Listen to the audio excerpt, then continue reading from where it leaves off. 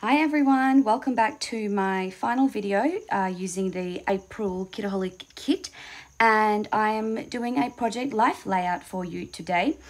I, as I did last time, I did a project life layout using uh, this particular kit. I'm using the packaging from the stencils because I just can't get over how beautiful it is. And I'm using that, uh, the chipboard sticker sheet, this chipboard sheet, and I'm sticking it on that confetti paper, which I pre-cut. It's too difficult for me to choose journaling cards while I'm on camera because it stresses me out. So usually you'll see me having already chosen my journaling cards by the time the video starts. Uh, then I'm taking these beautiful gold alpha, which I am hoarding now that I've finished using it for these, uh, these projects. And I am going to put that on the top photo, but you can see that it gets lost a little bit, so uh, stay tuned to find out in about three minutes how I fix that problem. Um, I, yeah, so once that's done, once I'm happy with that, I am going to work on the bottom card. I wanted some journaling and I needed a fair bit of journaling, so I'm using a sideways 3x4 card and I'm sticking that down the bottom and cutting that out so I've got a decent amount of journaling sp space. I'm using that Bloom chipboard piece as the jumping off point um, to, to write a story about how I am blooming creatively. And I'm talking about going to do a alcohol ink lesson with my friend. So that's how bloom ties into it all. Uh, I glued that bloom down with glue rather than using the sticky back on it. I actually tore the sticky back off so that it is a bit more secure.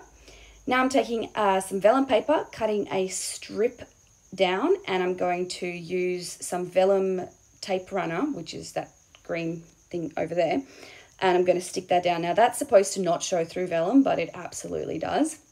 Um, so I am glad that I covered up, I, I, I'm covering it up essentially with the letters. Uh, once that's down, I thought I had lifted it off and put these alphas down too much. So I am going to take them to my sewing machine and stitch them down. And that is how that looks. Moving on, I also added uh, just a little label for my stash to that particular card so I can do some journaling. I'm taking three uh, tiny word stickers which came in the sticker book and I'm sticking them down. Uh, the second one I stick down lower because it's the same font as the one on the top and I didn't want them to have the two fonts next to each other, just so you know. uh, and then I'm going to add the two hearts on the side, staple them on for a little bit of interest and do some journaling about my sister-in-law's surprise birthday party. Uh, so that one is done. I am going to work on the card showing the, oh, the card with my sister-in-law and my daughter. And all I'm going to do is I'm going to take uh, that little clear sticker of a cake because it's a birthday party, stick it on uh, some scrap paper, um, which is actually the paper that was between the puffy stickers. Um, so I'm not letting anything go, go to waste. And I'm going to fussy cut that out and stick that on the TV in the background, which I didn't like. I didn't love having the TV in the background. So I'm going to put that in the TV in the background and I'm going to also take this little bow and stick it down the bottom of the cake. And that card is done. Now moving on to the teapot card. So this is a picture of the actual teapot that we made, uh, but there's a lot of space that I didn't need. So I can cut pretty much most of that off and just make a tiny little square.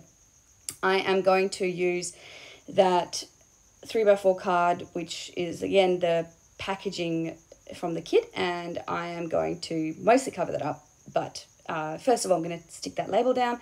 Then I'm going to add the photo, use my tiny attacher. And, oh yeah, spell out fun. Because I've already done the journaling about that. So I didn't feel like I needed to do it again. Repeating that little bow element and that card is done.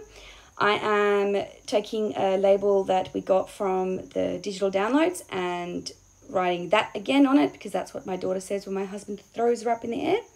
And now moving on to the top card. I am taking this scrapbook.com um, paper and because it was the perfect color to match in with a lot of what was already in the kit. And I'm going to create like a banner a layered banner across the top. I'm going to stick that down but because that's shorter than a than six inches I'm going to fill it out using some of the torn off bits that I had. So you really can't tell in the end because I've got the vellum that goes over that as well. So I'm going to put a strip of vellum over that. I'm going to tape that down and then I'm going to take the beautiful uh, golden lovely uh, word. Not it's not lovely in that it looks lovely in that it says lovely. Uh, i'm going to take that and i'm going to stick that on and i'm going to go back to my sewing machine because that's my favorite thing in the world right now and i'm going to do some stitching on there. So that's what i was talking about that lovely there. I was going to use that card for journaling but then i really just didn't need any need it. So yeah all good. Uh, i also added some journaling to the bottom card uh, off screen and then I'm going to add these little golden little love hearts to finish that one off. And that is the layout done. Thanks for joining me, guys. Have a good week, and I'll see you next time. Bye.